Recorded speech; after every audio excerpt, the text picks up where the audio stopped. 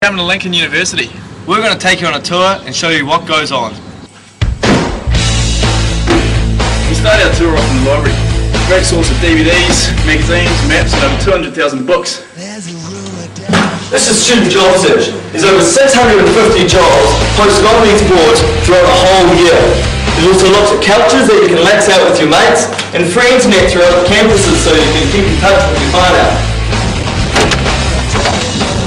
out. In a great place. Only 19 minutes to Christchurch, 40 minutes to go surfing. And Mount Hutt, it's only an hour and a half away. What?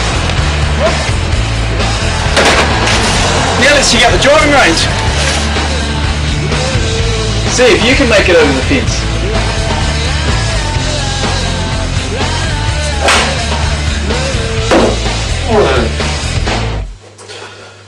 You're lucky enough to be in the halls, you might find yourself in a room like this.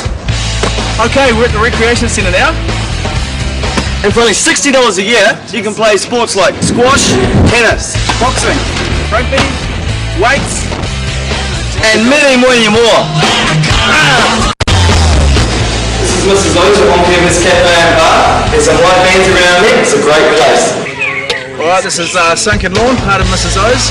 Uh, really nice place to hang out in the summertime, in between lectures, grab a beer, whatever.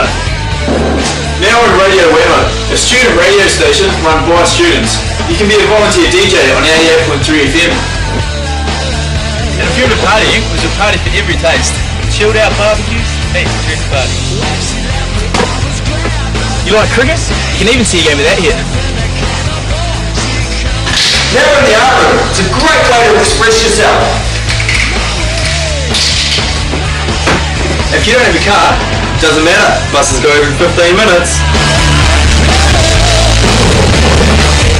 Now we're in the heart of Christchurch.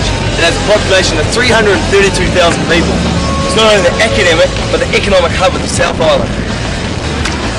With over 150 bars and restaurants in the CBD alone.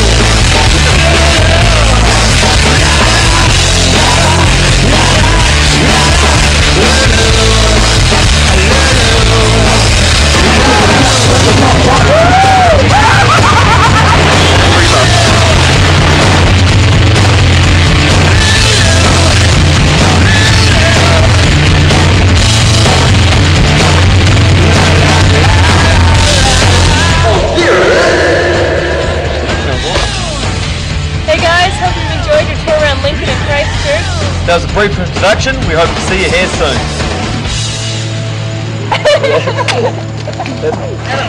Quick, Nick.